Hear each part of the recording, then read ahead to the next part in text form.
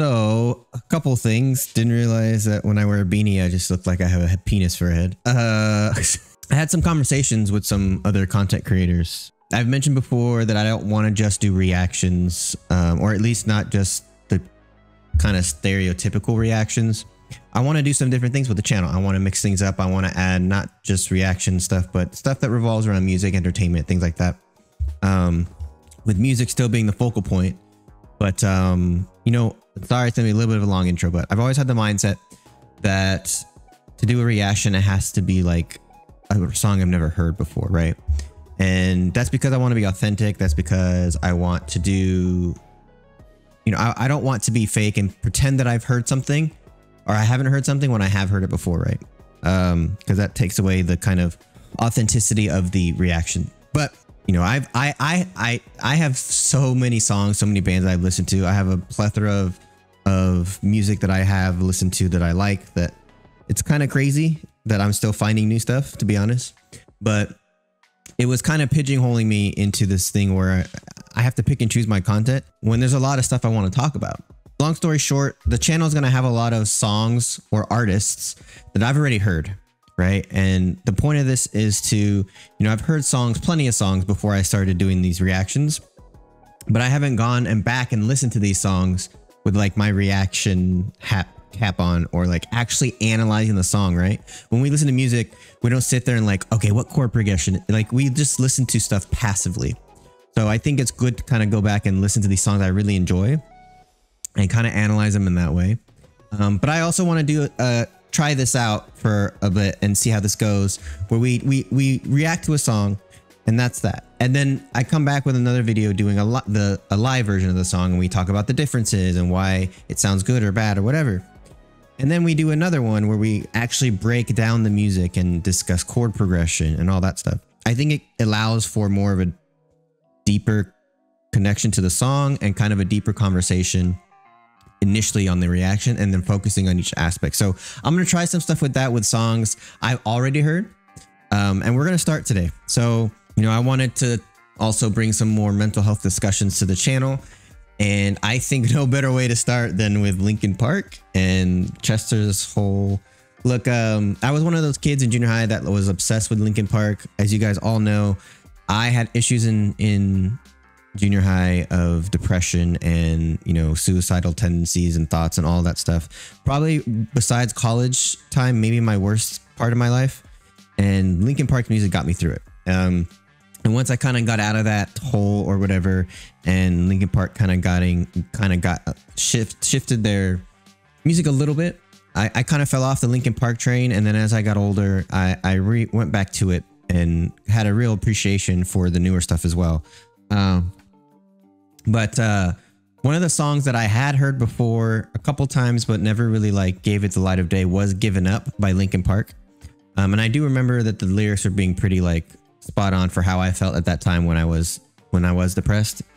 And um, so I want to talk about the song. I want to we're gonna re listen to it together, and I'm gonna kind of talk just talk about the song and what my initial reactions to listening to it. Um, because I have heard the song before, I'm probably gonna stop it here and there just for copyright reasons, and also because I want to when I think of something I want to say it, or I will pop out of my brain. So. Um, all right, I know that was a long intro, but I kind of want to explain what's going to be happening on the channel and kind of some things that I want to bring to the channel and why you might see some songs that technically I've heard, but I still think it'll be a great conversation to have. All right, so this is given up by Linkin Park, 137 million views.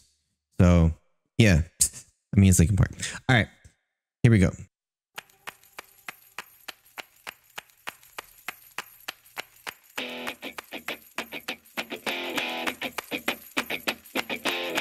Love this intro.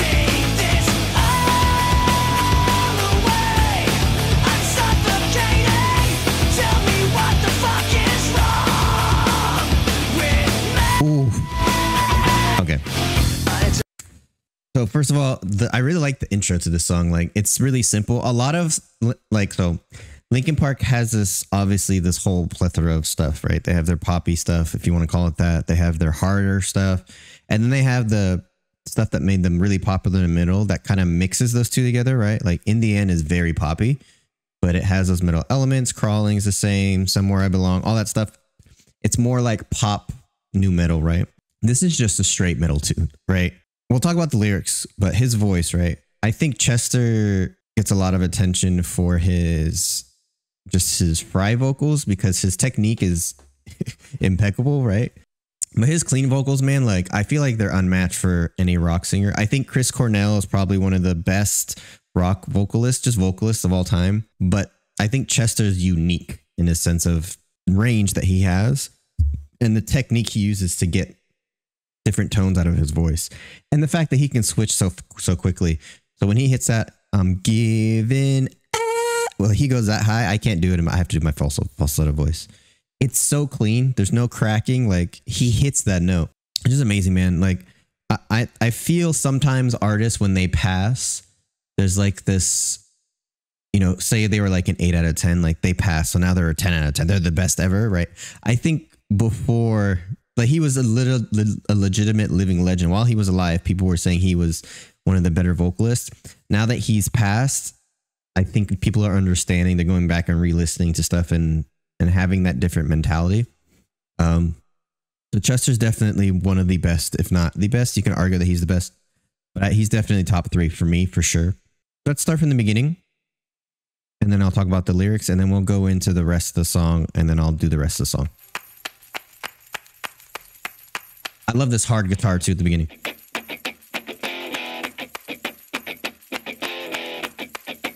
But you have the one. And then you got both of them coming in with the bass and the drums.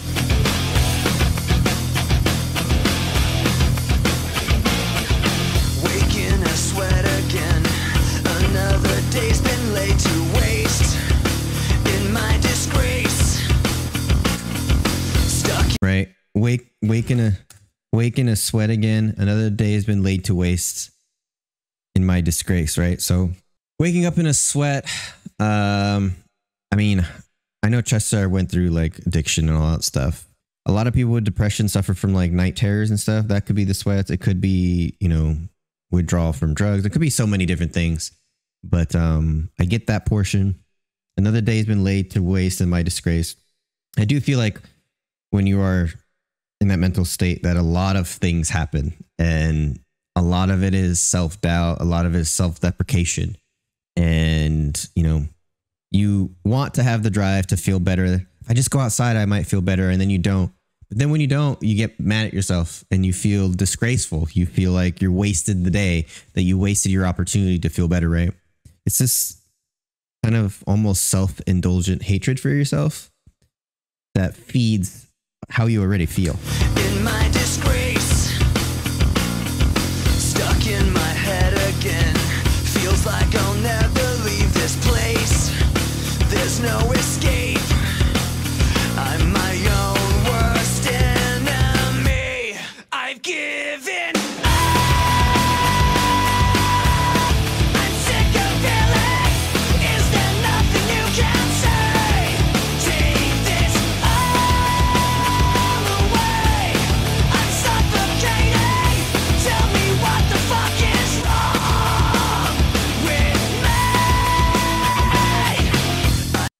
goes into the the fry wrong, bro, like it, it hits me.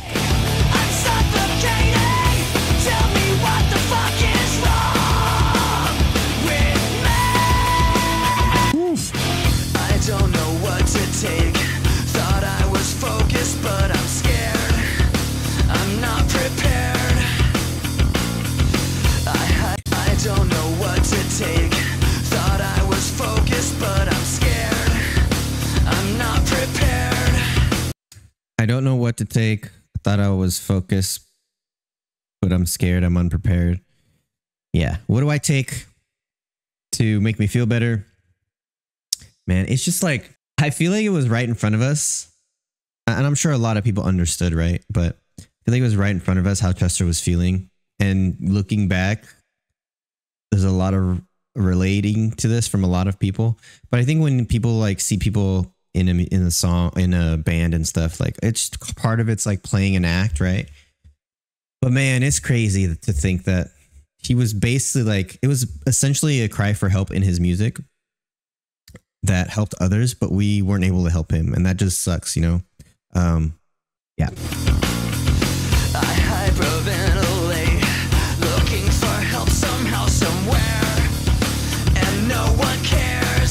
and no one cares. I think that hits the hardest, man. Depression could be a like the most loneliest feeling ever. You could be with people. It's not about like, oh, I'm alone. It's like mentally, I feel like nobody understands where I'm at. So even if I were to confide in somebody, I can't like emotionally and physically, you know, bare my soul to somebody because they don't understand. That's how you feel so alone from it.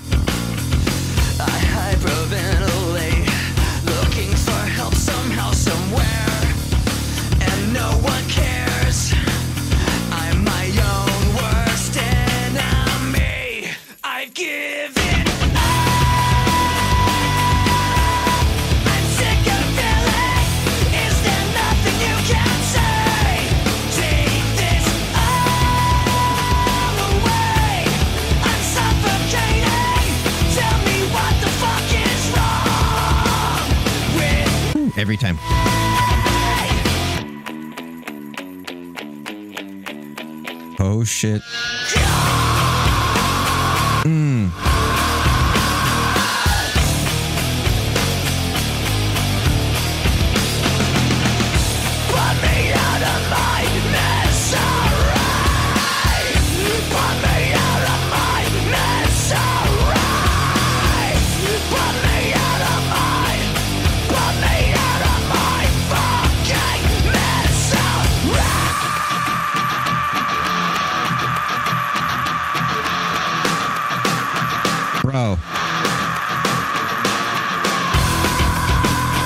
What the?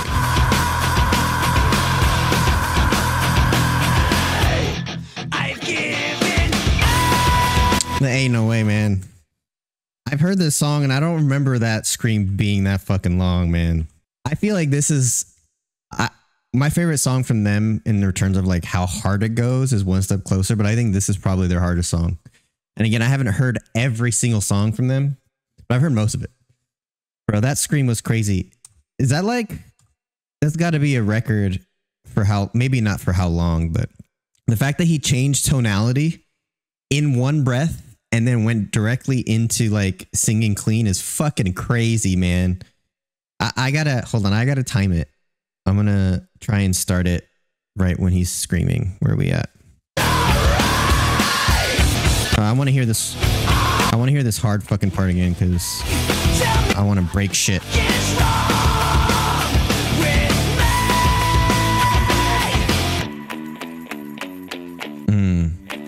Lo-fi guitar.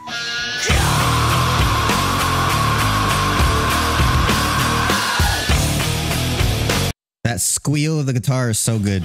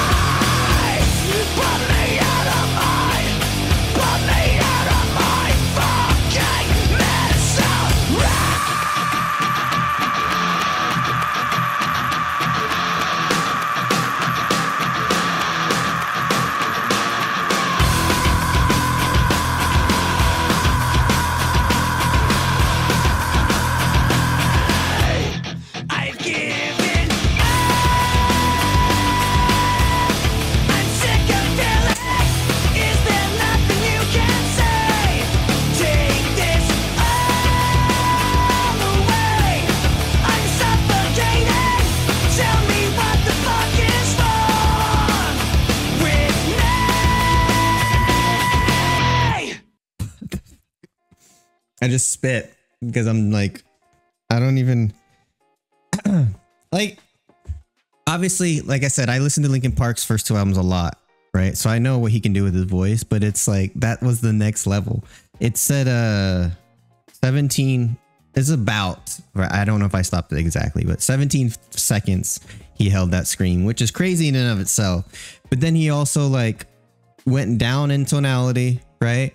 And then he also did it in one breath and then he went right into clean vocals. And I'm pretty sure in the recording it wasn't he did the scream, took a break, and then went and did it. I know uh, Chester is notorious for one takes. So that was fucking nuts, dude. Uh, honestly, this is probably I still think for what it meant to me in nostalgia purposes, probably one step closer is my favorite along with um the live in Texas version of uh Place for My Head.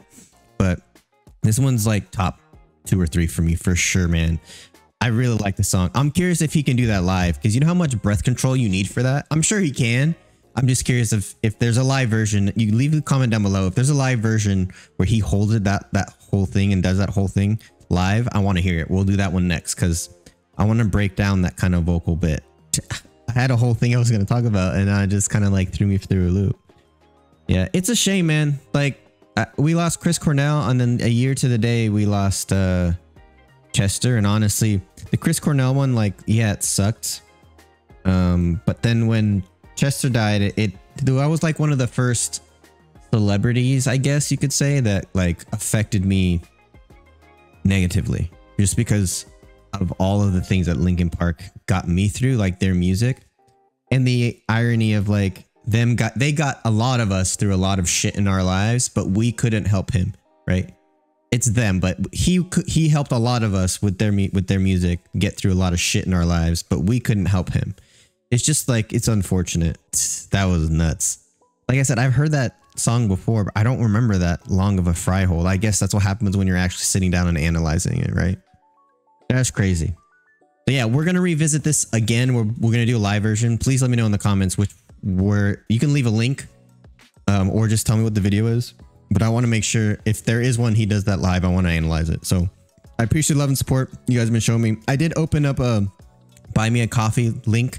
So um, if for whatever reason you do feel like um, helping out the channel, you can do it through PayPal, buy me a coffee. Uh, I have a Patreon where stuff like this is going to be on there, early access. You can message me directly. Uh, those of you who are Patreon members, you can message me directly on what reactions you'd like to see, and you'll be moved to the top of the list. Lots and lots of cool stuff there. TV show reactions, movie show reactions. I'm going to start posting my process in recording music and uh, journaling me kind of relearning the guitar a little bit because uh, I've created a lot of bad habits over the years that I need to fix. Uh, so just a lot of cool brain dump stuff on the Patreon. And like I said, early access stuff here. So I really do appreciate the love and support you guys have been showing me. And please do remember that good vibes are contagious.